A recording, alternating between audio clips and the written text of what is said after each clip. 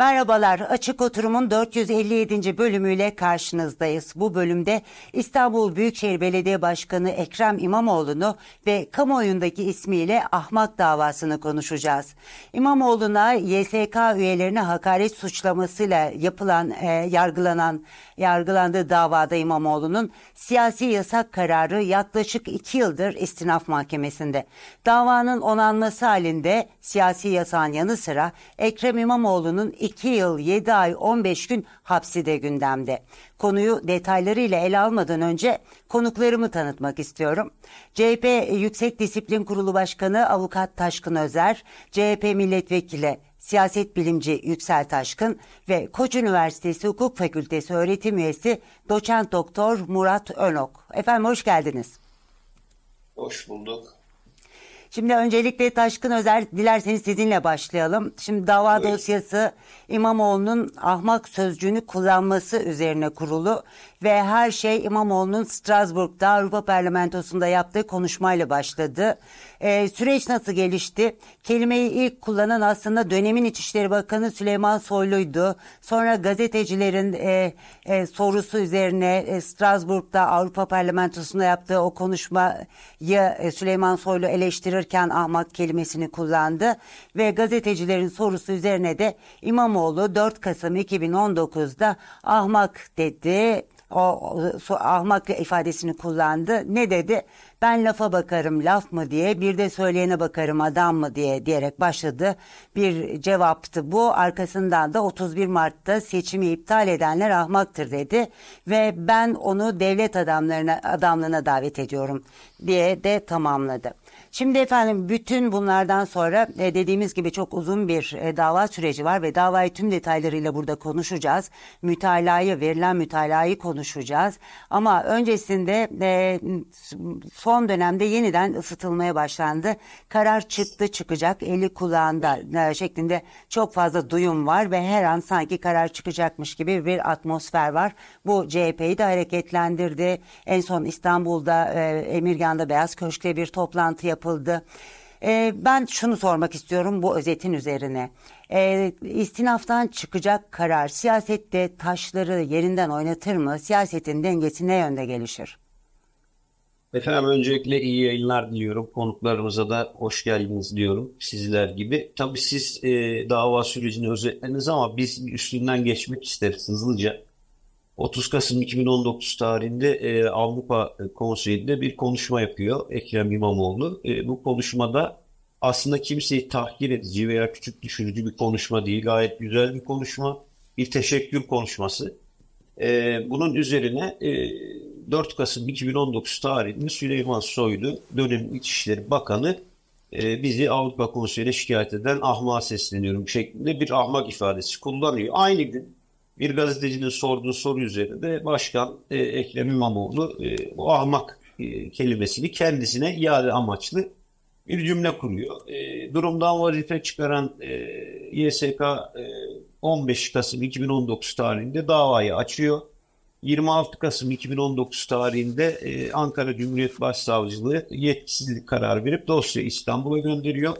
Neticesinde süreç içerisinde e, 27 Mayıs 2021 tarihinde İstanbul Anadolu Adliyesi'nde e, Türk Ceza Kanunu 125'e 2, 1, 125 3A e, maddelerinden Ekrem İmamoğlu hakkında bir dava açılıyor. E, bu dava süreci içinde de ilginç olaylar yaşanıyor. Tabii hani hukuki e, tekneye girmeden anlatayım. Mesela ilk hakim 1 Haziran 2022 tarihinde görevden alınıyor. Yargılamayı yapan hakimin görev yeri değiştiriliyor. E, kendisi istememesine rağmen görev yeri değiştiriliyor. Bu konuda daha sonrasında e, Sayın Gökhan Günaydın ve benim de katıldığım e, Hakimler Savcılar Kurulu'na bir dilekçe veriyor. Yani bunun sebebi, iyice araştırılması vesaire. Bununla ilgili de bir sonuç çıkmıyor.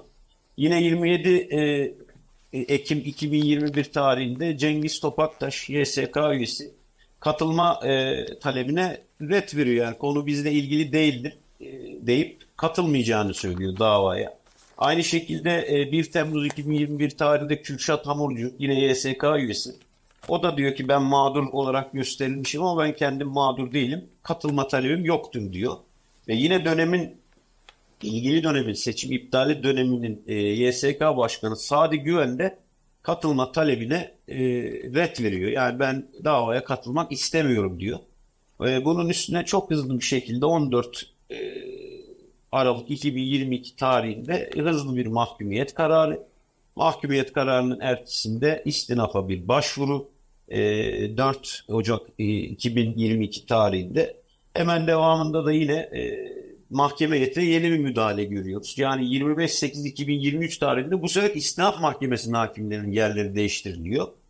E, tabii bu süreç devam ederken, e, yargılama devam ederken e, yine hocalarımız detaylarıyla anlatacaktır. E, hem yerel mahkemedeki yargılama esnasında e, hem de istinaf sürecinde hukuki mütalalar ortaya konuyor.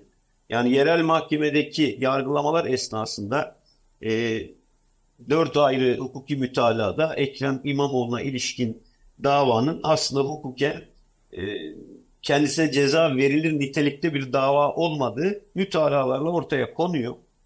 Buna rağmen yerel mahkeme ceza verme cihetine gidiyor. Devamında istinaf aşamasında da süreç devam ederken bu kere e, anayasaya aykırılık e, iddiasıyla bir norm denetimi talebinde bulunuyorlar ki e, hocalarımız e, Adem Sözer ve Tolga Şirin bir bilimsel mütala hazırlayarak talep üzerine Sayın İmamoğlu'nun avukatlarının talebi üzerine bu bilimsel mütala neticesinde de bir norm denetimi talep ediyorlar. Tabi burada genel hakaret suçuna ilişkin norm denetimi talebi değil bu.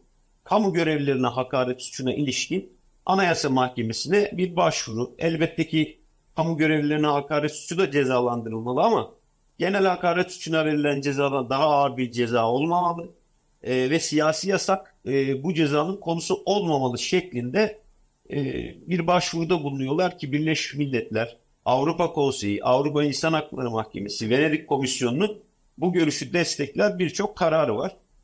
Zira e, Sayın Ekrem İmamoğlu'na açılan davanın e, dünya tarihinde de bir örneği yok. Yani bir eleştiri mahiyetinde bir kelime kullandığı için bir kişiye e, bu denli ağır bir cezanın verilmesi ve kendisine siyasi yasak getiriliyor olmasının da aslında dünya e, hukuk tarihinde de bir yeri yok. Görmedik yani böyle bir dava da görmedik. Türkiye hukuk tarihinde de görmedik. Bir ilkle karşı karşıyayız. Dolayısıyla burada istinaf mahkemesine başvuru yapılarak Anayasa Mahkemesi'ne gönderilen e, bu aykırılık iddiasının ciddi olup olmadığı neticesinde bir karar vermesi bekleniyor. Bu işlemler yapılırken ilginç bir de gelişme oluyor. E, Çorum e, Asliye Ceza Mahkemesi'nden bir hakim e, kendi mahkemesinde görülmekte olan başkaca bir kamu görevlisine hakaret davasıyla ilgili olarak e, Sayın Tolga Şirin ve Sayın Adem Sözer'in e, Sayın Ekrem İmamoğlu'nun dosyasına sunmuş olduğu raporu örnek göstererek, bilimsel mütalayı örnek göstererek bir dosyayı kendiliğinden resen Anayasa Mahkemesi'ne norm denetimi için gönderiyor. Bu şu demek aslında Ekrem İmamoğlu dosyasında talep edilen anayasaya aykırılık iddiasının nedeninin ciddi olduğunu, meşru bir zemine oturmuş olduğunu göstergesi.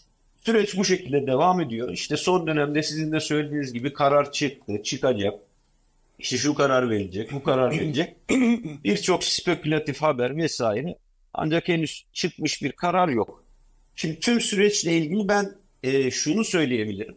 Burada asıl e, vurgu yapmamız gereken konular var. Bir kere bu sürecin e, 2019 tarihinde Sayın Ekrem İmamoğlu'nun İstanbul seçimlerini ilk kez kazanmış olması, daha sonra seçimlerin iptal edilmiş olması, haksız gerekçelerle iptal edilmiş olması ve devamında seçimi ikinci kez Ekrem İmamoğlu tarafından yüksek bir, bir oy farkı ile kazanılmış olması neticesinde ve süresinde gelen yani süresince gelen zaman diliminde de bir yargısal tacize maruz bırakılmasıyla birebir iletileyebiliriz. Şöyle Neden siz aslında siz zaten Beylikdüzü Belediye Başkanı iken e, de avukatıydınız. O günden bu yana süreci yakın izliyorsunuz şu anda. CHP Disiplin Kurulu Başkanısınız ama e, geçmişten bu yana İmamoğlu ile ilgili bütün davalarını da yakından e, takipçisiniz.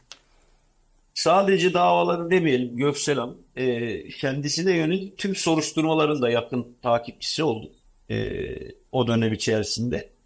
Dolayısıyla 2019 yılında seçim kazanıldıktan sonra Beylikdüzü dönemine ilişkin yapılan soruşturmalar, İstanbul Büyükşehir Belediyesi dönemine ilişkin soruşturmalar ile kamuoyu bunları yakından takip etti.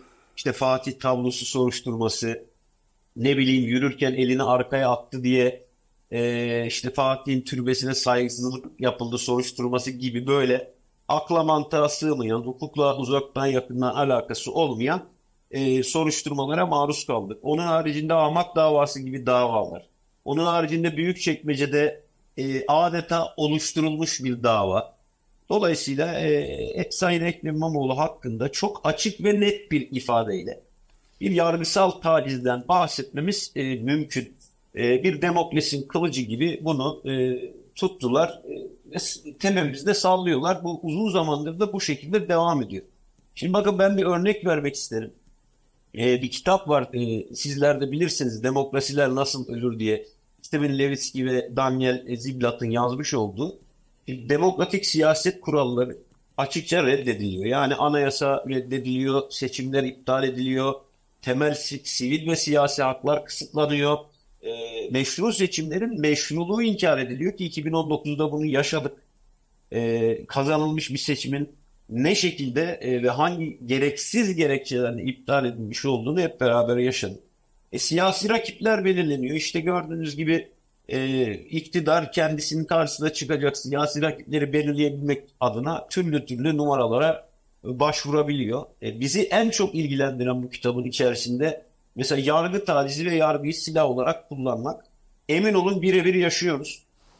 Yani e, birçok soruşturma e, alt e, metninde bir gerekçesi olmayan, e, içeriği doldurulmamış birçok soruşturma, Danıştay'a götürdüğümüz itirazen e, yine Ekrem İmamoğlu'nun hukukçuları tarafından bizim o dönemde götürdüğümüz ve devamında Ekrem Başkan'ın hukukçuları tarafından Danıştay'a götürülen e, itirazen birçok e, soruşturma yapılmasına yer olmadığına dair karar emin olun çok ciddi bir yargısal tacizle karşı karşıyayız. Yani son vurgu olarak şunu söyleyebilirim.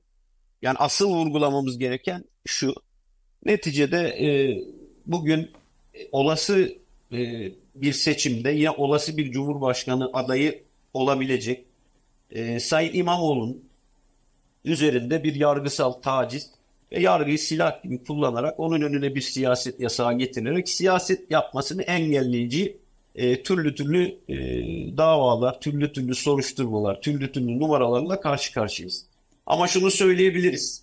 İmamoğlu'nu sokmadıkları her seçim emin olun arızalı bir seçim olur. Sakat bir seçim olur. E, çünkü olası Cumhurbaşkanı adaylarından birisini bir takım yargı oyunlarıyla engellerseniz basit bir sözde hakaret davasıyla engellemeye kalkarsanız e, bu davayla onun siyasi hayatının önüne bir set çekmeye e, kalkarsanız ve kendisini seçime sokmak sokmazsanız bu seçim sakat bir seçim olur. Bu seçim arızalı bir seçim olur. E, bu engellemelerden sonra da kimse hani bir meşruiyetten, adaletten, haktan, hukuktan bahsedemez. E, dolayısıyla bu aslında artık e, direkt olarak Sayın İmamoğlu'nu ilgilendiren bir mesele olmaktan çıkmıştır. Adeta demokrasiye yönelik bir tehlike olarak e, önümüzde durmaktadır.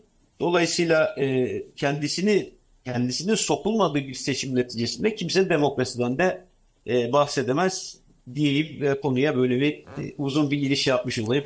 Evet aslında iyi de bir özet oldu. Ee, sürecinde yakın tanı olarak sizden gelen bu özet. Şimdi e, size dönmek istiyorum. Yüksel Taşkın siyaset bilimci kimliğinizle e, aslında bu anlatılanlardan hareketle bir e, şeyi sormak istiyorum size. O da şu e, son derece detaylı bir şekilde anlattı e, Taşkın Özer. E, uzun bir davadan, zamana yayılmış bir davadan söz ediyoruz ve e, 2019'da 4 Kasım 2019'da başlamış olan bir dava var ortada. E, bu e, soruşturmanın iddianamenin düzenlendiği tarih tam bir buçuk yıl sonra. E, sonra 7. Asliye Ceza Mahkemesi'nin hüküm verdiği tarih ondan bir buçuk yıl sonra. Bakın günümüze geldik. Yıllardır sürmekte olan bir davadan söz ediyoruz. E, ve iki yıla yakındır, bir buçuk yıldır sanıyorum istinafta bekletilmekte olan bir dava. E, Sayın Taşkın Özer de söyledi zaten kamuoyunun da dilinde pelesenk olmuş bir şey var ki e, Ekrem İmamoğlu'nun ensesinde demokrasinin kılıcı gibi bekletilmekte olan bir dava bu. Bütün bunlar doğrultusunda sizden o siyaset bilimci kimliğinizle bir değerlendirme istiyorum rica ediyorum. Çok teşekkür ediyorum. Değerli katılımcılara da e, selam e, iletmek istiyorum. Vallahi Türkiye'de hukukçu olmak da siyaset bilimci olmak da çok zor. Yani kahredici şeyler yaşıyorsunuz. Öncelikle e, Taşkın Vekilime teşekkür ediyorum. Süreci çok çok iyi özetledi ve tüylerin e, ürperdiğine. Ben de davaları takip ettim. E, davada hakemin tavırlarını e, e, herkesin, bütün Türkiye'nin görmesini istiyordum. Gerçekten ceza veren hakimin oradaki tavırlarını e, ben de biliyorum ne yaptığımı ama e, bunu yapacağım deyip yer yer kendisiyle e, ilgili espriler yapması zaten olayın ciddiyetini bize anlatıyor. Çok basit bir soru sormak istiyorum ben. Ekrem İmamoğlu en favori, en güçlü Cumhurbaşkanı adaylarından birisi olmasaydı bu dava olur muydu? Yani olay burada zaten açığa kavuşuyor diye düşünüyorum. İmamoğlu e, son derece e, güçlü bir Cumhurbaşkanı adayıdır ve bu dava ve benzer davalarda nedenle orada tutulmaktadır. Fakat e, bu dava sürecinden kaygı duyan yurttaşlarımıza şöyle bir şey söylemek istiyorum. Bakın e, toplum aslında 2024 seçimlerinde e, Ekrem İmamoğlu'nun davasına karşı değil mi? Dava süreci devam ediyordu. O dava sürecinde dikkat alarak çok, çok ama çok net bir tavır sergiledi. Yani çok güçlü bir destek verdi Ekrem İmamoğlu'na. Sadece İstanbul'da e, aldığı oy iktidar e, ortaklarından ortaklarından bir partinin Türkiye genelinde aldığı oydan daha fazladır. Ve bu muhteşem müthiş bir meşruiyet kaynağıdır.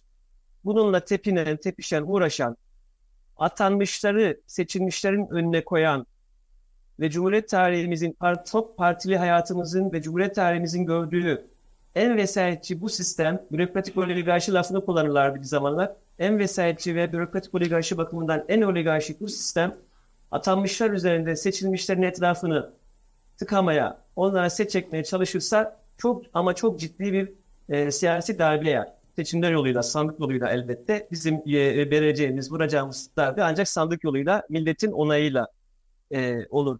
Şimdi bakın e, ilk 2024 seçimlerinde e, topluma bir e, seçenek sunuldu. Orada aslında siyaset bilimci kimliğiyle şunu söyleyeyim. Bu tür atanmışlar üzerinden kumpas çevirme olayları e, rekabetçi otoriter dediğimiz rejimin, sistemin otoriter tarafını güçlendirmeye meyleder.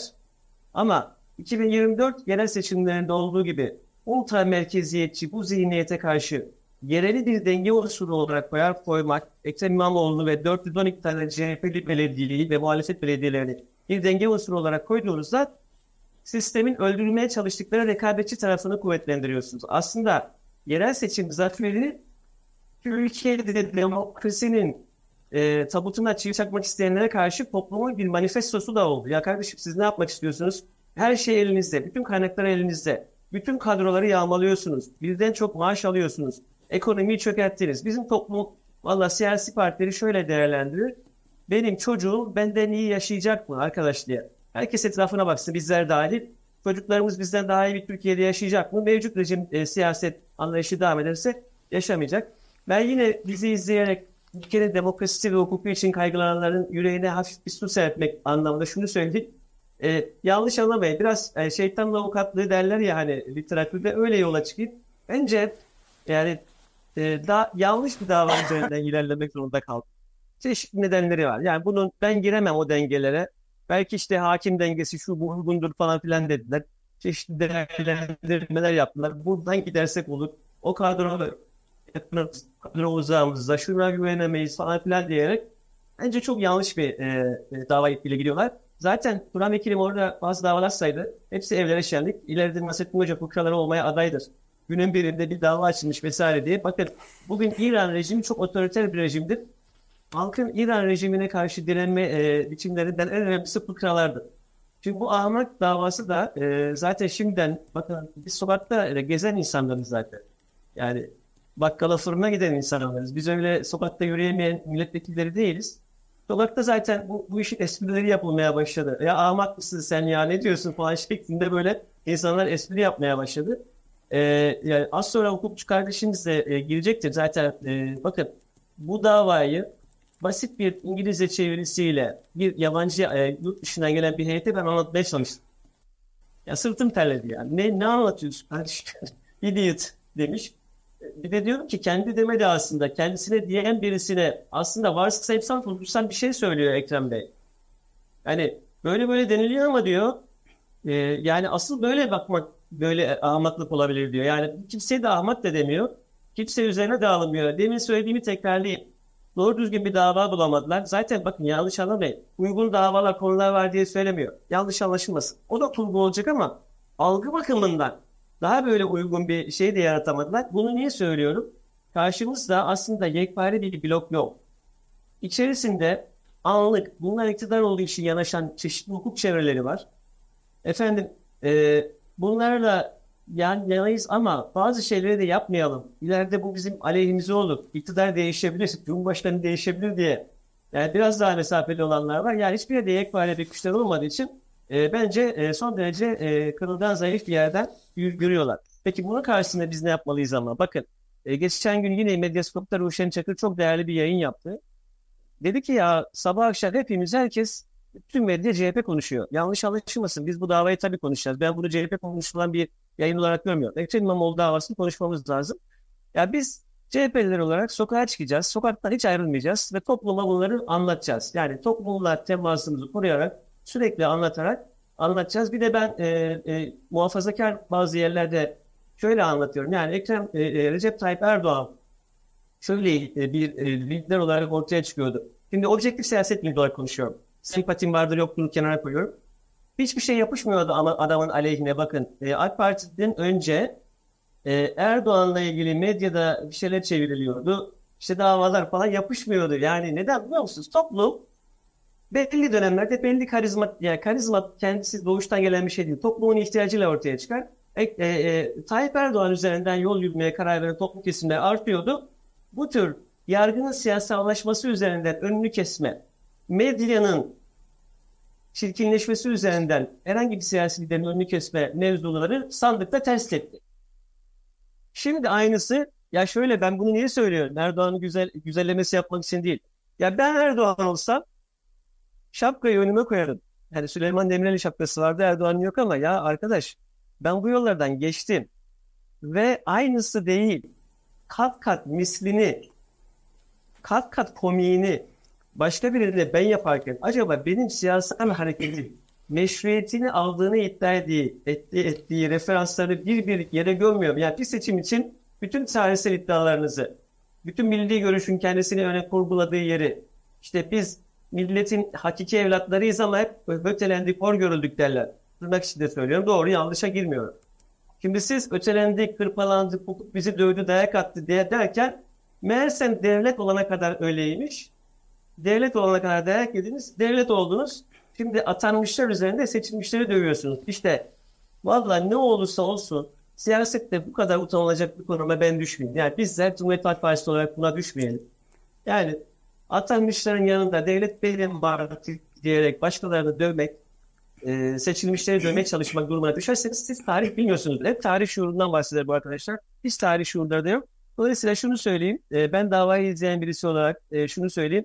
Bu dava üzerinden Ekrem İmamoğlu'nun yolunu kesmek, tıkamak e, demek Türkiye'nin yolunu ve e, önünü tıkamaktır. Türkiye'nin demokratis, demokrasinin önünü tıkamaktır ve halk da şunu görüyor. Son bir iki cümle söyleyeyim. Türkiye'de toplumun büyük bir kesimi demokrasinin ekmek anlamına geldiğini görüyor ve demokrasisini çalarlarsa ekmeğinin de çalındığını, küçüldüğünü görüyor. Bu yüzden Ekrem İmamoğlu davasında çok sembolik bakıyor toplum. Ve son bir şey daha söyleyerek bitireyim. Hani ben evet. dedim ya bir ara Erdoğan'a olumsuz bir şey yapışmıyordu. Ben İstanbul sokaklarında her yerde, Türkiye'nin her, her yerinde şunu görüyorum. E, millet Ekrem İmamoğlu'nu da bırakmış. Bu bana lazım olur diye oraya koymuş. Ya yani önemli bir lider adayı olarak orada tutmak istiyor. Hırpala, hırpalanmasına izin vermiyor. Dolayısıyla bu dava üzerinden e, geçmiş olsun. Bunun üzerinde bunu yapmak asla mümkün değil. Siyaseten de e, belki kendilerini baraj altı yapacak şekilde bir e, oyun oyun yani e, yanlış bir e, oyunun içindeler. Umarım e, e, e, e, sağduyu hakim olur diyorum bunu. Teşekkür ederim. Ee, Sayın Murat Öne, Önok size e, aslında ben e, böyle gelecektim. Benden e, e, önce özetini de geçmiş oldu Sayın Yük- Yüksel Taşkın. Hakikaten e, e, Cumhurbaşkanı Erdoğan'ın İstanbul Büyükşehir Belediyesi Başkanı olduğu dönemde yaşadığı bir süreç var. Ee, Sayın Taşkın ona dikkat çekti. O önemliydi. İki dava arasında bir benzerlik de görüyor musunuz diye de soracağım size ben bir yandan. Ee, neden? Çünkü e, ikisi de uluslararası camiada ve toplumun geniş kesimlerinde e, geniş tepkiye yol açtı. İkisi de İstanbul Büyükşehir Belediye Başkanıydı. İkisinde de iki davada da toplumun saygın hukukçuları ve üniversite hocaları mütalaa verdi. Ben o dönemde belediye muhabiriydim. CNN Türk'te çalışıyordum ve o davayı yakinen izlemiş bir gazeteciyim.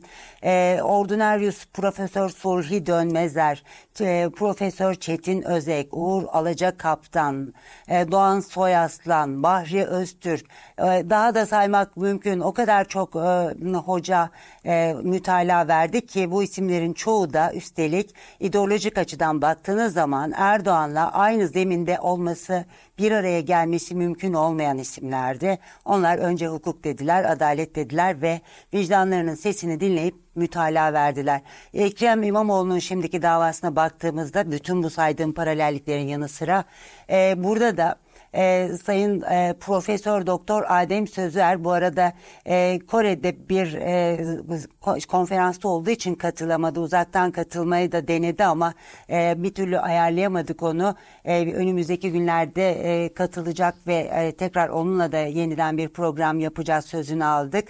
Adem Sözer, e, doçent doktor Tolga Şirin, Profesör Doktor İzzet Özgenç, Ahmet Gökçen yine Profesör Doktor, e, Durmuş Tezcan, hatta ve sizin bulunduğunuz e, 10 ceza ve anayasa hukukçusunun mahkemeye mütalaa sunduğunu biliyoruz. Bu son derece önemli. O mütalaa da şu anda benim hemen yanı başımda. E, hem benzerlikleri hem davada verilen mütalalar üzerinden şimdi sizde bırakacağım sözü lütfen davayı bu yönüyle değerlendirir misiniz? Tabii ki ben de katılımcılara ve değerli izleyicilere saygılarımı, selamlarımı sunuyorum. Şimdi tabii belki şuradan başlamak gerekir. Aslında ilk teşebbüs Ordu valisine yönelik Sayın Ekrem İmamoğlu'nun sarf ettiği sözler nedeniyle açılan davaydı. Orada da yine kamu görevlisine hakaretten bir dava açıldı. İşte vali basitlik yapıyor mu dedi, itlik yapıyor mu dedi meselesi. Fakat o davada mahkum oldu İmamoğlu ama para cezası çıktı. Bu tabii çok işi görmüyordu diyeyim tırnak arasında. Çünkü para cezası verince belediye başkanlığının düşmesi söz konusu olamıyor. Ya da siyasi yasaklı konuma girip ileride Cumhurbaşkanı adayı olamaması gibi bir durum da olamıyor. Bu ise ikinci bir dava. Şimdi bu davada şuna dikkat etmek gerekiyor. Acaba Sayın İmamoğlu kime o lafı etti? Çünkü Sayın İmamoğlu YSK üyelerine hakaret ettiği iddiasıyla mahkum edildi. Oysa biz mütalamızda şunu ortaya koymaya çalıştık. Başkın Bey de bunu izah etti aslında, siz de izah ettiniz. Bakın bir kez daha söyleyelim, izleyiciler bunu gözden kaçırmasın. Sayın İmamoğlu Fransa'da Ekim 2019'da şunu diyor, aynen okuyorum. İktidar manipülasyonla kazanamadığı seçimi, seçimi yönetmekle yetkili olan Yüksek Seçim Kurulu'nun kararıyla iptal ettirerek kazanmak istemiştir. Yani dikkat edin burada direkt olarak doğrudan iktidarı eleştiriyor. Bunun üzerine İçişleri Bakanı Süleyman Soylu, Taşkın Bey'in de dediği gibi diyor ki Avrupa Parlamentosu'na gidip Türkiye'yi şikayet eden ahmağa söylüyorum. Bunun bedelini bu millet sana ödetecek. Gördüğünüz üzere Soylu İmamoğlu'na kişisel bir yanıt veriyor. Bunun üzerine Sayın İmamoğlu Türkiye'ye döndüğünde havalimanında bir muhabir Soylu'nun ismini açıkça belirterek bu sözleri aynen alıntılayarak İmamoğlu'na bu sözlere karşı görüşünü soruyor. İmamoğlu da buna cevaben uzun bir değerlendirme yapıyor. Siz de Göksel Hanım değindiniz. Ben lafa bakarım laf mı diye başlıyor. Arada 31 Mart'ta seçimi iptal edenler ahmaktır diyor. Daha sonra yine doğrudan soyluyu hedef almayı sürdürüyor. Biz mütalamızda şunu söyledik. Burada bu lafın söylendiği kişi Süleyman Soylu'dur. Zaten YSK üyeleri değildir. Bunu da nasıl ortaya koyduk? Bir kez İmamoğlu da duruşmada Süleyman Soylu'yu hedef aldım diyor. Dosyaya sunulan haber küpürlerine bakıyorsunuz. Basın da bu sözü Soylu'ya söylenmiş olarak algılayıp haberleştirdi.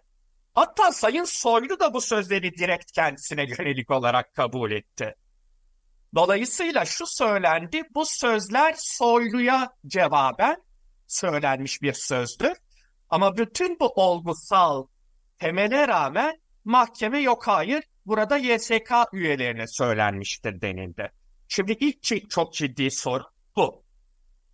İkincisi diyelim ki YSK üyelerine sarf edildi bu sözler. Acaba yine de ortada hakaret suçundan bir ceza verilebilir mi? Şimdi izleyiciler hukukçu olmayanlar bunu da anlamalı. Basit bir örnekle başlayalım. Diyelim ki ben bir celladım ve idam cezasını ben infaz ettim cellat olarak. Evet ben birini öldürmüş olurum. Hatta kasten öldürmüş olurum. Ama cinayetten mahkum edilir miyim? Hayır. Niye? Çünkü görevimi yaptım. Yani bir hakkımı icra ettim. Şimdi hakaret suçunda da bir lafın küçük düşürücü olması aranır. Kastınızın olması aranır ama bunlar yetmez. Ayrıca hukuka uygunluk nedeni de olmamalı. Hukuka uygunluk nedeni nedir? İfade özgürlüğü, siyasi ifade özgürlüğü, eleştiri hakkı, basın mensupları açısından basın özgürlüğü haber verme hakkı. Bu gibi haklarınız varsa küçük düşürücü bir şey söyleseniz de suç olmaz. Çünkü zaten bunu söylemek adı üzerine haktır. Şimdi ikinci argümanımız da buradandı. İfade özgürlüğüne bakarsak Avrupa İnsan Hakları Mahkemesi, Anayasa Mahkememiz ve Yargıtay hep şunları söylüyor. Acaba hakaret suçundan mahkumiyet verilebilir mi? Şu kıstaslara bakmalıyız diyor. Bir, bir kez bazı kişilerin ifade özgürlüğü ve eleştiri hakkı daha geniştir. Bunun en net örneği seçilmiş temsilciler ve siyasetçilerdir. Burada bir büyükşehir belediye başkanı söz konusu. Onun söylemeye hakkı olan şeyler bizden daha fazladır. Ki bu konuda birçok karar da var. Mesela İnsan Hakları Mahkemesi'nin 2020 tarihli bir Kılıçdaroğlu Türkiye kararı var. Detayına girmiyorum ama orada son derece sert sözleri var Sayın Kılıçdaroğlu'nun. Bundan ötürü sadece manevi tazminata mahkum oldu Kılıçdaroğlu. Hapse falan değil. Burada bile Türkiye'yi haksız buldu İnsan Hakları Mahkemesi. İkinci bir kıstas. Kamuyu ilgilendiren bir mesele tartışılıyorsa, hele siyasi önemi haiz bir mesele tartışılıyorsa yine ifade özgürlüğü genişler. E burada dikkat edin bu ahmak lafını neyin üzerine söylüyor Sayın İmamoğlu? Türkiye Cumhuriyeti tarihinin hukuki ve siyasi en önemli olaylarından birinin en sıcak döneminde. Bütün gazetelerde İstanbul seçimlerinin iptali manşetken dünya bunu konuşuyorken söylüyor. Ve İnsan Hakları Mahkemesi ve kendi Anayasa Mahkememiz diyor ki siyasi nitelikli ifadeler varsa bunlara en ufak müdahale bile yani ufak bir para cezası vermeniz bile sorumludur. Oysa burada biz bir hapis cezası vermişiz, kişinin bütün siyasi kariyerini etkileyecek. Üçüncü bir kıstas, sözün yöneldiği kişinin statüsü. Kamu görevlileri daha çok eleştiriye açık olmalıdır. Yüksek yargı mensupları, bu laf YSK'ya söylenmişse daha da fazla eleştiriye açık olmalıdır. Siyasetçiler daha da fazlasına açık olmalıdır. Hele bu laf Sayın Soylu'ya söylendiyse ki öyle bir bakan en fazla eleştiriye açık olmalıdır. Mesela burada çok ünlü bir kararı var İnsan Hakları Mahkemesi'nin. EON Fransa kararı. Orada e, bir çiftçi Sarkozy'ye defol git beş para etmez dingil gibi tercüme edilebilecek bir laf söylüyor. Aslında önce Sarkozy bu lafı birisine ediyor. Sonra bir vatandaş aynı pankartı Sarkozy'ye, Cumhurbaşkanı'na açıyor. Bundan ötürü 30 eurocuk para cezasına çarptırılıyor. Bu ceza da erteleniyor. Buna bile İnsan Hakları Mahkemesi hukuka aykırı dedi. Böyle bir laf için hakaret suçundan mahkum edemezsiniz dedi. Bakın mütalaya koymadığımız şeyler de var. Biraz muasır medeniyeti anlatmak istiyorum ben sayın izleyicilerimize.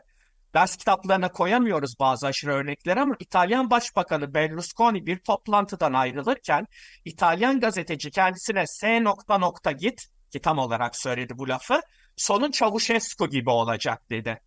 Beraat etti. İtalyan Yargıtayı dedi ki bir başbakan buna katlanmalı. George Michael, İngiliz şarkıcı Shoot the Dog adlı şarkısının klibinde Bush geri zekalı gibi resmediliyor. Denilenleri anlayamadığı için Genelkurmay Başkanı ayakkabısını çıkarıp koraptan kukla yapıp böyle anlatıyor konuyu Bush'a. Bush yine anlamıyor. Daha sonra İngiltere Başbakanı Blair kareye giriyor. Bush top atıyor köpeğine. Blair köpek gibi koşup topu ağzıyla alıyor. Geri getiriyor. Göbeğini dönüp Bush'a okşatıyor göbeğini. Daha sonra bir füze atıyor Bush. Blair bunun üstüne biniyor ve füzenin altında aferin iyi köpek, aferin iyi köpek yazıyor Blair'e. En sonunda da Blair, bir kadın ve Bush çıplak olarak yatağa giriyorlar. İngiltere'de de Amerika'da da ceza davası açılmadı bunun için. Bunlar en üst düzey siyasetçidir. Ben bu arada size şöyle bir katkıda bulunayım. O kadar uzağa gitmeye ge- gerek var mı bilmiyorum. Ee, bu ülkede de televizyon ekranlarında bir dönem ben hatırlıyorum Rüstem Batum'un hazırladığı bir program vardı. Beynini tokatlayan program diye e, liderlerin e, birer maketi vardı ve onların kafasına vurarak program yapıyordu. Ve kimse dava açmadı. Gayet e, iyi hatırlıyorum o dönemleri. Bizde de vardı o esneklik yani. Ve hala var. Bakın hala güzel kararlar var. Yargıtay Ceza Genel Kurulu'nun 2020 tarihli bir kararı. Bir vatandaş, siyasetçi falan da değil burada, düz vatandaş. İfade özgürlüğü o kadar geniş değil. Diyor ki, başbakan kim? Başbakan kukladır, kukla. Onunla bununla masaya oturur. Yargıtay beraat etmeli dedi. Yani burada düşünün, ahmak lafından ötürü bir kişiye ne kadar ağır ceza verilmiş, oysa verdiğim örneklerde çok daha ağır sözlere suç değil denilmiş. Bunları mütalaya koyduk. Birkaç örnek daha vereyim. Yine Yargıtay kararlarımız ve bu vereceğim örneklerde öyle üst düzey bir siyasetçinin yine önemli bir siyasi mesele bağlamında yine diğer bir siyasetçiye ya da üst düzey kamu görevlisine ettiği sözler falan yok. Bu düz vatandaşın düz vatandaş ya da alt düzey kamu görevlisine ettiği laflar. Hepsinde hakaret yoktur. Beraat kararı çıktı. Mesela infaz koruma memuruna söylenen beceriksiz herif, meziyetsiz, karaktersiz. Başka bir olayda sen beş para etmez bir insansın, vicdansız insansın, hayatta güvenilebilecek en son insansın. Başka bir olayda sen paralı askersin. Biz ne dersek o olur. Sizin arzunuz olmaz. Siz paralı kölesiniz. Başka bir olayda edepsiz, terbiyesiz. Başka bir olayda nankör, açgözlü, görmemiş. Tüm bunlarda beraat çıktı. Hatta Bu bütün- ahmak davası... Buyurun. Pardon bütün bunları e, şu bu örnekleri vermenizin nedeni e, eleştiri hakkının kullanılmasını tanımlamak için. Doğru mu anlıyorum? Evet. Bizim yargıtayımız bunlarda bunlar hakaret değildir dedi. Bir, yani hatta- sizin mütalaanızın üzerine oturduğu iki ayak var diye anlıyorum ben sizin anlattıklarınızdan. Biri eleştiri hakkı, diğeri de adil yargı ya İmamoğlu bakımından tabii adil yargılama hakkının ihlal edilip edilmediği, değil mi? lafların esas soyluya edildiği, iki, YSK'ya kabul etsek bile ifade özgürlüğünün ağır basması gerektiği. Çünkü burada özetleyeyim daha fazla örnek vermeden üst düzey bir siyasetçi vardır. Sözlerinin muhatabı YSK olsa üst yargı organıdır. Soylu olsa üst düzey siyasetçidir. Siyasi önemli bir konu tartışılmaktadır ve birkaç kıstas daha verip tamamlayayım. İnsan Hakları Mahkemesi, Yargıtay ve Anayasa Mahkememiz şunları da bakar. Verilen cezanın hukuka uygun olup olmadığını değerlendirmede. Bir, acaba kişi durup dururken mi bu lafları etti? Yoksa kendisine yönelik bir söz üzerine mi bu davranışta bulundu? E, İmamoğlu durup dururken bu lafı etmedi. Kendisine edilen laf üzerine cevap verdi. İki, acaba yazılı bir beyan mı?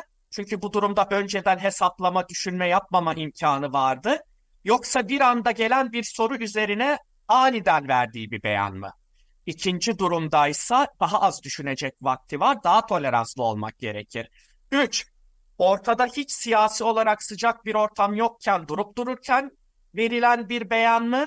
Yoksa sıcak tartışmaların yaşandığı bir ortamda verilen bir beyan mı? E şimdi dikkat edin bütün bu kıstaslar da İmamoğlu lehine beraat verilmesini gerektirdi.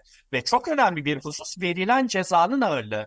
Bakın benim verdiğim birçok örnekte ufak bir tazminat, ufak para cezası verilmesi bile ifade özgürlüğüne aykırıdır denilmişken burada bir belediye başkanına 2 yıl 7 ay 15 gün hapis cezası verildi. Dolayısıyla uzun lafın kısası Ordu'daki Ordu valisi davasında para cezası verildi. O da yanlıştı, beraat çıkmalıydı. Hele hele buradaki ahmak davasında mutlaka beraat çıkması gerekiyordu. O davadan şu sözle bitireyim. Yani hukuk, adalet ve demokrasi adına Türkiye Cumhuriyeti için bu davadan iyi bir şey çıkmamıştır. Çıkması da mümkün değildir. Bu dava Türkiye'de hukuk ve siyaset üzerinde maalesef bir yüktür, bir lekedir. Umarım herkes bir an önce bunun farkına varır. Henüz karar çıkmadan söylüyorsunuz bunu. Bu arada tabii ahim iştahatı da var ve e, bu süre içinde bu kadar uzun zamana yayılmış dava süreci içinde bakanlar ve diğer devlet gücünü kullanan yetkililer de e, Ekrem İmamoğlu'nu suçlu gösteren e, pek çok açıklama yaptı. Bu da e, masumiyet karinesiyle bağdaşmayan bir durum olarak sanıyorum sizin verdiğiniz mütalada yer alıyor. Yanlış mı biliyorum? Biz daha önce yazdığımız için mütalayı orada yer almıyor ama dediğiniz doğrudur. Kamusal makamlar dava kesin hükümle sonuçlanıncaya kadar bir kimseyi suçlu olarak ilan edemez. Bu hatta anayasa madde 38'de açıkça yer alan bir kuraldır. Peki Sayın Taşkın Özer yeniden e, dönüyorum size. Şimdi e, davanın sürecini geldiğimiz noktayı bütün detaylarıyla olabildiğince ele aldık. Aklımızda e, gözden kaçan bir şey varsa yine döneriz ama... E, ben en başta sorduğum soruyu e, tekrar etmek istiyorum. E, şimdi yakın zamanda e, CHP'nin İstanbul'da yaptığı toplantıyı da hatırlatmıştım. E, ama bu toplantı tabii ki ne her şeyin başı ne de her şeyin sonu. E, şu merak edilen so e, soru şu. E, CHP istinaftan karar çıkması durumunda ve e, Ekrem İmamoğlu'nun hüküm giymesi halinde e, CHP'nin nasıl bir aksiyon planı var? O gün e, o karar çıktığında CHP ne yapacak? Bunu CHP'liler önüne bir yol haritası olarak koymuş durumda mı? Sonraki aşama var elbette Yargıtay temiz sürecinde detaylı biraz konuşacağız az sonra ama Yargıtay temiz sürecinin de ne kadar süreceği belli değil. E, iki yılda sürebilir, üç yılda sürebilir. E, demokrasinin kılıcı olmaya devam edebilir bu dava. E, böyle bir dönemde örneğin e, Ekrem İmamoğlu'nu şimdiden partimizin cumhurbaşkanı adayıdır demek gibi bir e, strateji var mı önünde CHP'nin ya da ne düşünüyor? Yani çünkü Ekrem İmamoğlu'nun böyle bir hüküm giymesi halinde geçmişte e, Erdoğan'ın örneğinde de gördüğümüz gibi e, mevcut gücünün çok üstünde büyüyeceğini öngörmek e, çok da zor bir şey değil. Evet ama böyle bir dönemde bir baskın seçim gelmesi halinde e, önemli bir aktör siyaset sahnesinin dışında kalmış olacak. Bunun da CHP'ye getirisi mi olur, götürüsü mü olur? Muhtemelen bunları da konuşuyorsunuzdur deyip söze, size bırakıyorum. Ee, şimdi Göksel Hanım öncelikle şunu söylemek isterim. Biraz önce ifade ettiğim gibi e, Cumhurbaşkanlığı meselesinin en önemli e, adaylarından bir, bir tanesi olarak ismi geçen ve olası adaylarından birisi Sayın Ekrem İmamoğlu. Dolayısıyla Sayın Ekrem İmamoğlu'nun e, yargısal tacizle ve yargı faaliyetleriyle siyaseten önünün kesilmesi ve kendisinin seçime sokulmaması bu seçimin meşruiyetini Türk toplumu adına sorgulatır. Herkes için sorgulatır. Şimdi biz Cumhuriyet Halk Partisi olarak tabii ki Ekrem, e, Sayın Ekrem İmamoğlu'nun davasına ilişkin bir toplantı yaptık. Bu toplantıda öncelikle şu husus konuşuldu. Burada da aktarmış olduğum gibi e, Sayın Ekrem İmamoğlu'nun İslam Mahkemesi'nde devam eden dava sürecinin geçmişten bugüne tüm aşamaları detaylı olarak bir kere konuşuldu. E, hukuktan sorumlu genel başkan yardımcımız da oradaydı. Diğer genel başkan yardımcılarımız da oradaydı. Oturduk bir kere hukuksal süreci baştan sona konuştuk. E, sonrasında da bu bahsettiğim e, Sayın Ekrem İmamoğlu'na e, aleyhine bir karar çıkması durumunda bu işin Türk toplumuna maliyetini konuştuk. Yani bunun demokrasiye nasıl bir darbe olacağını konuştuk. E, bunun hukuka, adalete nasıl bir darbe olacağını konuştuk e, diyeyim. E, devamında da şu, olası olumsuz bir tablo oluşması durumunda bu meşruiyet sorgulanacağından e, kimse Cumhuriyet Halk Partisi'nin bu işe sessiz kalacağını düşünmesin. E, elbette ki bir aksiyon planı olacaktır. Elbette ki e, genel başkanımız en başta olmak üzere e, bunun bir kumpas dava olduğunu ve sonuna kadar Ekrem Başkanımızın yanında olduğunu belirtmiştir. Türkiye'deki e, birçok belediye başkanı, e, büyükşehir belediye başkanları da dahil olmak üzere e, birçok siyasi Ekrem Başkan'ın bu anlamda yanında olduğunu açık açık ortaya koymuştur. E, dolayısıyla Cumhuriyet Halk Partisi'nde elbette bir aksiyon planı olacaktır. Onu söylemiş olayım. Olup da ne yapacak mesela CHP? Ya tabii detayıyla konuşulmuş bir durum yok. E, detaylarıyla ortaya konuşulmuş e, bir mesele de söz konusu değil ama böyle bir durum oluştuğunda ne şekilde bir araya gelineceği, e, krizin ne şekilde aşılabileceği tabii konuşuldu. E, acilen bir araya gelinip kararlar verilecektir diye. Ee, söylediğiniz şeyden bak bakıldığında, açıdan bakıldığında e, evet e, ben hani şeyi sormuştum siyasette taşlar yerinden oynar mı? Siz e, diyorsunuz ki e, Ekrem İmamoğlu'nun e, devre dışı olduğu bir yarış meşru bir yarış olmaz diyorsunuz. Olmaz da hem olmaz hem de biraz önce şeyi de belirttiniz. Hani partinin e, yapmış olduğu bu toplantıda hani Sayın Ekrem İmamoğlu'nun hukukçuları siyasi danışmanları ve bizlerle yapılan toplantıda e, yani alınan kararlardan bir tanesi hani olumsuz bir karar çıkması durumunda Sayın İmamoğlu'nun adaylığı vesaire bu tarz bir konuşma, görüşme olmadı. Bu konuların üzerinde durmadık. Bunlar bizim daha sonraki konularımız. Günü geldiğinde ortaya konulacak konular. E, öncelikli olarak şunu söylüyorum. Biraz önce konuşmamın başında söyledim. E, konu artık e, İstanbul Büyükşehir Belediye Başkanı Ekrem İmamoğlu'nun siyasi yasak karşı karşıya kalmasından çıkmıştır. Konu artık bir Türkiye meselesi olmuştur. Konu artık toplumu ilgilendiren bir mesele olmuştur. Konu artık bir demokrasi meselesi olmuştur, bir adalet meselesi olmuştur, bir hukuk sistemi meselesi olmuştur. Tüm vatandaşları topyekun ilgilendiren bir mesele haline gelmiştir. Dolayısıyla biz olayı bu şekliyle değerlendiriyoruz ee, ve olası olumsuz bir karar durumunda da e, Cumhuriyet Halk Partisi'nin e, sessiz kalacağını, bir aksiyonda bulunmayacağını kimsenin düşünmemesi gerektiğini buradan açıklamış olayım. Ki e, sizden de aynı değerlendirmeleri rica edeceğim. E, Sayın Yüksel Taşkın, e, siz ne diyorsunuz? Önce e, çok öğretici bir program oluyor. Gerçekten e, Murat Bey'den de e, aldığım bir notlar oldu. E, teşekkür ederim. Taşkın Bey zaten süreci çok iyi özetledi.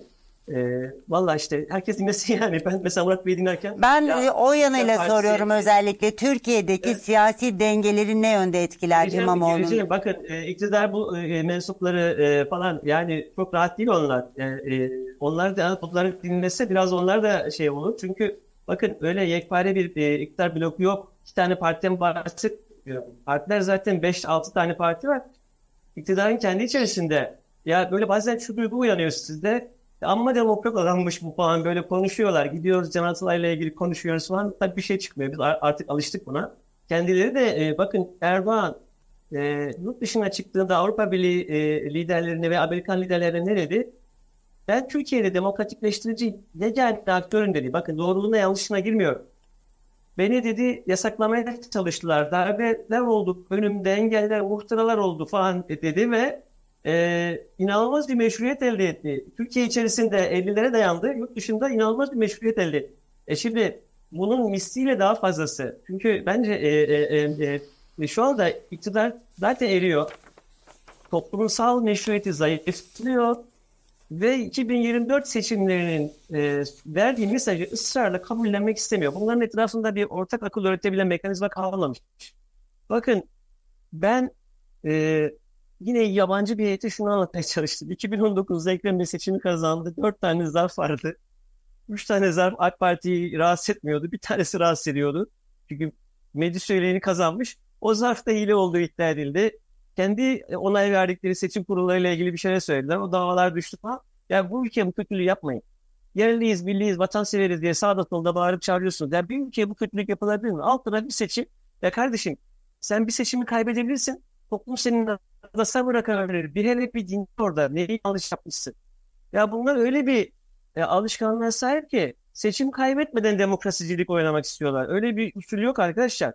Bazen millet sizi kenara koyar. Zaten ben uzun süre Türkiye'de kimlik siyasetine kilitlendiği için toplumun tam kaybedici olduğunu düşünüyordum. Geçen seçimde toplum şunu yaptı. Ultra merkeziyetçiliği dengeledi ve dedi ki benim alternatifim var kardeşim. Yani dedi ki siz dedi sorunlarımı çözemiyorsunuz. Benim alternatifim var. Benim elimden bunu alamazsın diyor yani. Ben bunu adasa bıraktım. Yani sadece bir adaydan da bahsetmiyorum. Yani bir sürü e, toplum şunu görmek ister. Belki başka adayları da denemek isteyecek. Başka karizmatik e, insanlar da çıkacak. Benim diyor hakkım diyor. E, dolayısıyla bakın burada şöyle bir e, konu olduğunu düşünüyorum. E, kesinlikle ama kesinlikle e, bu yol çok inanılmaz bir e, dalga yaratır ve göreceksiniz yani olmasını dilemiyorum ama böyle bir şey olması durumunda yani elbette istemiyoruz ve ben bu olacak o gibi kesin böyle hükümler vermeyi sevmem. Çünkü hukuk diye bir şey yok. Yani siyaset hukuka çok müdahale ediyor. Yani bence düşünüyorlar onlar kara kara. Şimdi böyle bir şey olması durumunda CHP dışındaki aktörler, muhalif aktörler, sivil toplum da yani e, mağdura sahip çıkma refleksini verecek. Çünkü bir süreçte hem e, ahlaken böyle bir tepki verilecek, çığ gibi bir tepki e, olacak. İkincisi yani burada Taşkın Bey spesifik şunu yaparız bunu yaparız demedi ama Cumhuriyet Halk Partisi de hem e, kendi tarihsel duruşu itibariyle hem de bu bahsettiğim sel gibi dalganın gereğiyle çok inanılmaz hareketler yapar. Ben muhalefetin elinde çok fazla kart olduğunu düşünüyorum. Yani bizim elimizde çok fazla kart var. Ben yani, e, çok ben özür dilerim. Şey, e, sözünüzü... Çok rahat konuşayım. Buyurun. Tabii. Buyurun buyurun. Siz çok Yok ya cümleniz tamamlayın yani buyurun. E, yani yönetimde değilim mesela ama şunu ben rahat söyleyelim. Ekrem Bey e, Cumhurbaşkanlığı adaylığı engellemek istemiyorum. Biz onu aday olarak da deklare de edebiliriz. Bizim elimizde böyle bir seçenek var. Diyelim ki çok inanılmaz böyle garabetler oldu. O zaman Ekrem Bey'in meşru adaylığını her bakımdan tıkayan engelleyenlere de millet başka bir aday üzerinden yani böyle bir şey olabilir. Yani ben hani böyle olsun demiyorum. Lütfen yanlış anlamayın. Yani benim zaten toplum kimi istiyorsa o, o, o seçilmeli de, demek istiyor. Bunu söylemeye çalışıyorum. Öyle bir ders verdik ki toplum kendisini engellemek isteyenlere. O yani gittiği yoldan e, taşırılmak isteyen, yani yönü değiştirilmek isteyen ırmak daha da gür bir şekilde de akar ve biz e, Deniz Baykal bir tek AK Parti ve CHP girmişti e, 2000, e, 2001 e, seçimlerinde. Yani e, orada e, biz Erdoğan'ın siyasi yasağını niye kaldırdık? Birincisi kendi duruşumuz bunu gerektiriyordu. İkincisi toplumsal talep net bir şekilde kardeşim bunu yapacaksın dedi ve hemen çözüldü. Ne kadar sürede çözüldüğünü siz de hatırlıyorsunuz. Neden? Çünkü biz günün sonunda konuşur konuşur gider sahanda hesabımızı veririz. Ve ben şuna inanıyorum yani e, bu toplum yavaş yavaş şunu da şu hafızayı da geri getiriyor.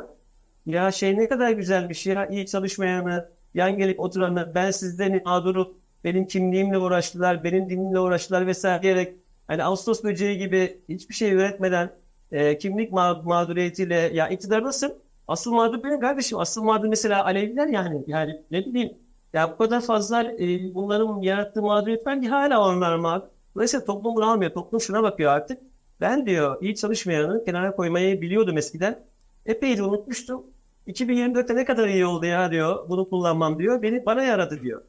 Yani uzun süre emekliler niye gündem oldu? Çünkü emeklilerin e, büyük bir kısmı valla öyle e, hani cami cemaati de diyorlar ya onlar dahil geldiler Cumhuriyet Halk Partisi'ne damgayı bastılar. Bu da şunu gösteriyor siyaset bilimci olarak söyleyeyim. O meşhur şey vardır ya güya %60-65 sağ %30-35 sol Bülent Ecevit'ten başlayarak Kemal Kılıçdaroğlu'na kadar yani bütün bizim liderler, e, liderlerimiz hiçbir zaman bu e, yarılmanın sağ sol yarılması olmadığını bilir. Dolayısıyla biz o cam tavan dediğimiz şeyi kırdığımızda şunu e, e, göstermiş olduk topluma. Doğru mesajlarla, doğru önerilerle o kültürel aşılama denilen engellerin ne kadar kolay aşıldığını, e, Adıyaman gibi bir yerde de aşılabildiğini, e, Uşak gibi bir yerde de aşılabildiğini gördük. Biz buradan ders çıkarıyoruz aman bir hata yaparsak bunlar bizi sıfırlar diye korkarken maşallah iktidardakiler daha seçim sonuçlarını dahi tayin eder. Dolayısıyla yani e, etrafımıza size yaramaya çalışan insanlar doldurursanız çünkü tek yetkili sizsiniz. Habire kararnameler yetkinizi de arttırıyorsunuz. Herkes sizi etkilem etkilemezse hayatını kaybedeceği gibi korku yaşıyorsa size tarihi de hatırlatamazlar. Sayın Erdoğan sen ne yapıyorsun? Yani senin başına gelenlerin aynısını başka birine yaşa- yaşatırsan sen e, parti olarak baraja takılabilirsin diyen bir kişi çıkıyor mu emin değilim. Onlar onu söyleyemeyecekse e, biz e, bu, boşluk, siyasal boşluktan mutlaka ama e, milletin yararına bir çıkarırız. Hı hı. Ee, şimdi e, aslında hakikaten anlatacak ve söylenecek çok şey var. Ee, ama size yeniden dönmek istiyorum Murat Önok. Ee, bir siyasi boyutunu bir yandan şey yapıyoruz ama e, tabii ki e, e, konuştuğumuz her şey aslında işin siyaseti tam anlamıyla. E, ben şunu da hatırlıyorum e, ya da yanlış mı hatırlıyorum yanlışsa düzeltin lütfen. E, siz e, bir davada bilimsel mütalaa hazırladınız ve e, uzman tanık olarak dinlenmeniz gündeme geldi. Yanılıyor muyum? Ee, Öyle. Ee, evet. Ordu valisi davasında e, Profesör Durmuş Tezcan'la birlikte bir mütalaa verdi. Bu Ahmet davasında da bu sefer yanımıza e, Hasan Sınır da aldık. Şimdi profesör o zaman doçentti. Evet. E, bizim dinlenmemizi talep etti avukatlar. E, bu talep reddedildi. Alelacele karar verildi. E, karar bildiğimiz üzere mahkumiyet şeklinde çıktı. Savunma hakkı açısından nasıl değerlendirmek lazım peki bunu? E zaten e, istinafa yazılan dilekçede, mütalalarda da e, diğer e, hocalarımızın yazdığı mütalalarda bunun hukuka uygun olmadığını, dinlenmemesi gerektiği ortaya konuldu. Yani e, aslında şunu diyebilirim. Az önce çok fazla teknik bilgi verdim. Şunu anlatmaya çalıştım. Anayasa Mahkemesi ve Yargıtay'ın iç tadına bakınca çok daha ağır laflara verilen çok daha hafif cezalar bile yanlış bulunmuş. Dolayısıyla bu sefer hiç teknik konuşmayacağım. Biraz da büyük resme bakmak gerekir. Ya temelinde şu var. 5 yıl önce üst düzey bir siyasetçi ahmak lafını duyunca bunun üzerine asıl ahmak sensin mealinde bir şey demiş. Bunun için 5 yıl sonra hala yargılanıyor ve 4 yıl sonra Cumhurbaşkanlığı seçimine girebilecek mi diye tartışıyoruz. Şimdi böyle bakınca böyle bir tabloyu tabii hiç kimseye anlatamazsınız yurt dışında Yüksel Bey'in dediği gibi. Ve hatta 15-20 yıl sonra Türkiye'deki gençlere de izah edemezsiniz aslında. E, ben şuna e, aktaracaktım az önce. E, Erdoğan'ın e, Pınarhisar cezaevi yoluna düştüğü zaman hüküm giydiğinde e, ben de o dönem dediğim gibi e, haberciydim, gazeteciydim. Bir insan seliyle uğurlandı. E, bir otobüsün içinden eşi Emin Erdoğan'la birlikte o insan selini yara yara gitti. Pınarhisar cezaevini kendi seçti. İki seçenek sunuldu ona. O önce, e, önceden e, bakarak e, Pınarhisar'da karar kıldı.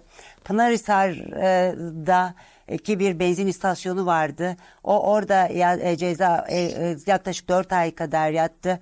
O süre içinde ülkenin dört bir yanından mektuplar yağdı. O mektupları nasıl tasdif edeceklerini bilemediler ve sonrasında çıktığında e, sadece İstanbul Büyükşehir Belediye Başkanı'ydı ve hüküm giymiş bir İstanbul Büyükşehir Belediye Başkanı'ydı ve Türkiye'nin neresine giderse insan seliyle karşılanıyordu. Arkasından gelinen nokta ortada. Şimdi bu çerçeveden de bakınca söylediklerinizi e, bu arada teknik arıza sırasında ben de e, Tayyip Erdoğan eşleştirmesini yapan bir şey anlattım Sayın Önok. E, böylesine de siyaset e, büyütüyor. Türk toplumunun, Türk siyasetinin böyle bir meyli de var. Haksızlığı gördüğü noktada e, mazlumdan yana tavır alıyor. E, ve e, şu anda e, dediğiniz açıdan bakıldığı zaman da sanki e, böyle bir haksızlık söz konusu. Siz çizdiniz zaten büyük resme bakınca ne diyorsunuz? 5 yıl önce şunu konuşuyorduk. 4 yıl sonra e, bugün e, hüküm giymesi beklenen kişinin Cumhurbaşkanı adayı olup olmayacağını konuşuyoruz diyerek yeniden size bırakayım sözü. Buyurun. Evet, e, şuraya gelecektim. Çünkü şöyle bir durum var. Biraz şimdi yine tekniğe döneyim. Şimdi istinaftan sonra bu iş Yargıtay'a gidecek. Hah, Eğer- o aşamayı Orada- o aşamayı da soracaktım. Evet. Buyurun. Evet. Yargıtay'a bu arada güveniyorum ben. Yargıtay'ın son yıllarda ifade özgürlüğü konusunda çok özgürlükçü kararları da var. Hatta Anayasa Mahkemesi'nin de var. Dolayısıyla Yargıtay bu içtihadını, yerleşik içtihadını sürdürürse, bir sapma olmazsa beraat çıkmasını bekliyorum. Ama diyelim ki Yargıtay'dan da onandı bu mahkumiyet kararı. O zaman şöyle bir tablo çıkacak. TCK madde 53 gereği bir kez siyasal yasak geliyor ve bu siyasal yasak mahkumiyet süresince devam ediyor. 2 yıl 7 ay. Ondan sonra da Hak, Adli Sicil Kanunu devreye giriyor. Madde 13A. Yasak hakları geri alabilmek için bu 2 yıl 7 ay dolduktan sonra 3 yıl daha beklemeniz gerekiyor. Bu 3 yıldan sonra mahkemeye başvurup yasağı kaldırabiliyorsunuz. E şimdi bu şu anlama geliyor. Yargıtay'dan aleyhe bir karar 2025'te falan çıkarsa 2 yıl 7 ay üstüne 3 yıl daha sonra mahkemeye başvuracaksın. Hakkı geri alacaksın 2032 falan ediyor. Ve hatta şöyle bir sonuçta doğabilir. Şimdi mahkumiyet hükmü kesinleşirse bir kez görev suçu değil bu. Terör falan zaten değil. O nedenle İçişleri Bakanı falan kendisi görevden alamaz. Ama tabii Danıştay'a gidecek bu durumda iş. Danıştay'dan bir karar alınması beklenilecek. Ve şu an mevzuata göre bir yılı aşan bir mahkumiyet kararı varsa ki burada verilen ceza 2 yıl 7 ay Danıştay kararıyla belediye başkanlığı düşecek. Dolayısıyla böyle bir süreç de söz konusu olabilecek. Hani düşünün ki 5 yıl önce edilmiş tek bir kelimeden ötürü yıllarca sürecek ve bütün Türk siyasetini derinden etkileyecek sonuçların işlemesi söz konusu. O nedenle diyorum ki hani Türk hukuku ve demokrasisi adına çok ciddi bir yükle karşı karşıyayız. Peki Yargıtay süreci e, ne kadar sürer e, öngörebiliyor muyuz o süreci? E, öngöremiyorum şu nedenle. Mesela ilk derecedeki karar çok çabuk çıktı. Şaşırtıcı derecede çabuk çıktı. İşte biz dinlenmedik falan birçok talep reddedildi. İstinaf normalde çabuk işler. Bu Bir sefer istinaf e, oldukça yavaş işledi. Dolayısıyla burada tahmin yapmak çok gerçekçi dur- durmuyor. Çünkü önceki tahminlere hiç uygun olmayan süreler söz konusu oldu. Bugünden Ama normalde Yargıtay süresi daha uzundur istinaftan. Bayağı daha uzundur normalde. Hı, yani 2-3 yılda sürebilir o zaman Yargıtay süreci. Yani normalde sürmemesi gerekir. Ama tabii istinaf bile bu kadar sürdüyse tabii ben mütalaa yazdığım için çok siyasi bir şey de demek istemiyorum. Ama bir sürecin çok kısa lazer hızıyla ilerleyip diğerinin aşırı yavaş iş, işlemesinde normal tuttuğumu söylemek durumundayım. O zaman Ama ben- her halükarda evet. buyurun her halükarda dediniz. Ama her halükarda eğer beraat çıkmazsa çok uzun yıllara sari olacak bir sürecin devamı söz konusu olacak. Bunu, bunu izah etmeye Anladım. Ee, peki ben bu noktada o zaman e, son sorumu e, ortaya sorayım e, ve onunla kapatalım. E, şimdi bundan sonrasında böyle bir süreç var önümüzde ama geçmişteki örneği tekrar hatırlatmak istiyorum. Aynı siyasi yasak e, cezaevinden çıktıktan sonra e, mevcut Cumhurbaşkanı Tayyip Erdoğan için de geçerliydi. E, yasada e, esnek yerler mi var ya da istendiği zaman esneyebiliyor mu ya da bir tesadüf müydü? E, o yasak e, ilk e, seçimlere girdiğinde milletvekilliğine adaylığını bile koyamamıştı e, Sayın Erdoğan. Fakat e, yasağın kalkmasıyla birlikte Siirt'ten biliyorsunuz bir kişi e, milletvekilliğinden çekildi. Orada yeniden seçim yapıldı ve böylelikle e, seçilme hakkı kazandı. Şimdi böyle e, gelişmeleri de görebildiğimiz bir ülkede olduğumuz için bu yanıyla da e, ortaya sormuş olayım ha, hanginiz cevaplamak isterseniz bu yanıyla da e, merak konusu bir süreç var sanki önümüzde. E, Vallahi zor oldu ama Canan Kaftancıoğlu konusunu hatırlatayım. Ee, Canan Hanım'la da yine haksız bir ceza geldi. İl başkanlığını biz devam ettirdik. Meşruiyetini tanımayan bir tavır takındık. Fakat e, o sırada mesela ben yönetimde değilim ama yani eminim taşkın vekilim de e, değerlendim. Bu yasa artık e, mevcut yasa yani siyasi yasak getiren yasa e, bence gözden geçirilmeli. Ben şimdi e, demokrat e, a- algılamaya çok özen gösteren bir meclis başkanımız var. Bakın tekrarlıyorum. Demokrat algılamaya önem göster, özen gösteren meclis başkanımız var. Valla meclis açıldığında bu yasa e, yani belli yani. Sizin siyasi rakiplerinizi tasfiye için kullanılmaya başlanan bu bakımdan dünyanın hiçbirinde anlatamayacağınız, Türkiye'nin hiçbir kahvesinde anlatamayacağınız bu yasayı düzgün bir hale getirin. Yani çok net bir şekilde tanım getirilebilir. Yüz kızartıcı suçlar olabilir vesaire.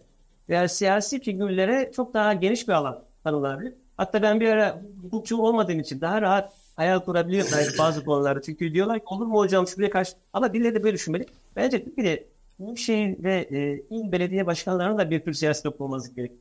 Siz Onlar Sayın Numan giriyorlar. Kurtulmuş'a mı sesleniyorsunuz aynı zamanda bu Tabii çerçevede? ki yani bakın yani Numan Bey'le konuştuğumuz zaman e, yani şunu mu savunacak Numan Bey? Erdoğan'ı siyasetten e, tasfiye yönelik kullanılan e, bir e, mekanizmanın bugün misliyle bakın. Aynısını değil.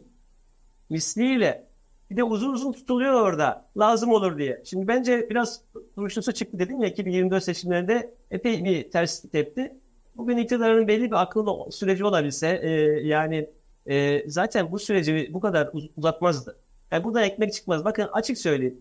Kahvehanelere gideceğiz. İnsanlara diyeceğiz ki buraya AK Parti ve iktidar güreşe gelen arkadaşlara şu soruları sorar mısınız diyeceğim. Bu arkadaşlar kahvehanede pazarda gezemeyecek. Yanlış anlamayın. Yani bu bir tehdit değil. Diyeceğiz ki siz halksınız. Asıl sizsiniz biz vekiliz. Lütfen iktidar milletvekilleri şunu sorar mısınız? Erdoğan'ın siyasetin tasfiyesine yol açan, araçsallaştırılan hukukun aynı sopasının misliyle bir başka insana karşı kullanılması ve bir zamanlar sopa yediğini iddia edenler tarafından kullanılması doğru mudur? Yani bunu böyle sorun bakalım gelenlere. Onlar nasıl gezecek sonuçta? Yani siyaset bakın Türkiye öyle basit bir ülke değil. Çok uzun bir süredir bizim e, parlamentomuz var. E, rekabet var bu ülkede. Yani gidiyorsun kahvede inanılmaz. Ya benim kentsel dönüşümünü niye yapmıyorsun kardeşim diye benim kendi partim bana hesap soruyor. Ben de anlatıyorum. Anlatmak zorundayım. Ve bu yani benim kendi partim e, beni sorguluyorsa e, benim partimin bu adımıyla neler söyler. Hakaretten biz olmadığı sürece saatlerce oturursun orada dinler. Şimdi biz bunu yapıyoruz zaten. Biz bu Türkiye'nin her yerinde yapıyoruz. Ve bunu iyi ki de yapıyoruz. Ve biz e, toplumsal meşruiyetimiz çok genişledi. O kırılan sözde cam tavan diyorlar ya aslında. Yani biz e, onun da ötesine geçtik. Neden? Biliyor musun? Çünkü iktidar bu kafayla giderse toplum zaten onlardan kendisine herhangi bir e, fayda gelmeyeceği e, altına daha çok kapılır. Onlar örneğin bu toplumun ekmeğini nasıl büyütürüz, bu ekmeği nasıl bölüştürürüze odaklanacağını ekonomiyi nasıl olsa çözemiyoruz. Olası rakiplerimizle uğraşalım, onları tasfiye edelim de biraz zaman kazanalıma yöneldikleri sürece toplum bunu zaten algılar. Dolayısıyla ben e, Kodri Meydan Meclis Başkanı'na sesleniyorum buradan. Ya bu siyasi yasak konusunda araçsallaştırılan hukuken gerçekten me, me, me, mevcut e, e, uygulamalarımıza da çelişen bu e, mevzuyu giderelim. Bu yoluyla yani meclis bunu halletsin. Daha bu kimseye karşı kullanılmasın. Bunu öyle derim. Hı hı. Evet e, programımız... Buyurun, buyurun. Göksel Hanım tabii iki durumu tam olarak birbiriyle e, Yüksel Hocam'ın söylediği gibi kıyaslamamak lazım. Suç tipleri çok farklı. E, burada ek, Sayın Ekrem İmamoğlu'nun bir siyasi e, kişiliğe yönelik verdiği bir cevaptan bahsediyoruz. Sadece kullandığı bir ahmak kelimesi ve Murat Hocam da çok güzel izah etti. Olası bir ceza durumunda yıllara sari sürecek e, bir hukuk mücadelesi yani bunun e, sicilden kaldırılması adına. Dolayısıyla iki durumu birbiriyle e, kıyaslamamak lazım. Yani mevcut Cumhurbaşkanı'nın yıllar önce yaşadığı e, durumla bugünün durumunu bence birbiriyle aynı şekliyle kıyaslamamak lazım. Çünkü burada ayrı bir durum da var. E, sadece bu dava üzerinden değil, ahmak davası üzerinden değil. Yani Ekrem Başkan'a yönelik yürütülen birçok e, hukuki gerekçeden yoksun soruşturma, üretilen birçok dava e, bir yargı tacizini yani yargıyı silah olarak e, kullanmanın ne olduğunu e, net olarak ortaya koyuyor. Yani demokratik siyaset içindeki önemli rakiplere karşı e, yargının ne şekilde kullanıldığını görüyoruz. Rakiplerini kanıtsız olarak, gerekçesiz olarak kriminal, kriminalize ederek e, siyasetten uzaklaştırma yollarına girildiğini görüyoruz. Bakın bir örnek vereyim. E, malumunuz bir terör soruşturması e, konuşuluyordu. İstanbul Büyükşehir Belediye Başkanlığı ile alakalı bir terör soruşturması konuşuluyordu. E, ancak ortada ne bir soruşturma var, ne bir iddianame var, hiçbir şey yok. Gazetelerde e, günlerce yazdı. E, dönemin İçişleri Bakanı canlı yayınlara katılarak İstanbul Büyükşehir Belediye Başkanlığı bünyesinde terörle irtibatlı ve iltisaklı yüzlerce personelin çalıştığını dile getirdi. İnsanları zan altında bıraktı. Dolayısıyla o yol üzerinden Sayın Ekrem İmamoğlu'nu e, aynen Ordu valisinde hedeflenen e, ancak ulaşılamayan e, başka bir metotla bu sefer terörle irtibatlandırmaya da çalıştılar. E, o da olmadı. E şimdi de uydurma bir davayla, bir ahmak davası dediğimiz davayla Ekrem Başkan önüne e, bir siyasi yasak koymaya çalışıyorlar. Diğer konuya gelecek olursak da dediğim gibi yani kesinlikle bunun e, yasal olarak ele alınması gerektiğini düşünüyoruz. E, Murat Hocam çok daha net ifade edecektir. Zaten Anayasa Mahkemesi'ne norm denetimi adı altında yapılan başvurunun sebebi de bu. Yani şöyle, yani bir kamu görevlisine e, hakaret suçu başta da söyledim. Tabii ki cezalandırılmalı ama e, genel hakaret suçuna verilen cezadan daha ağır bir ceza olmamalı. Bir siyaset yasağı ortaya konmamalı. Yani sen hem bir kamu görevlisine diyeceksin ki Murat Hocam izah etti.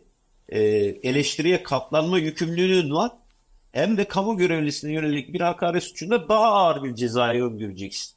Burada da bir çelişki olduğunu düşünüyoruz. Dolayısıyla bununla ilgili de e, bir norm denetimi başvurusu zaten yapıldı.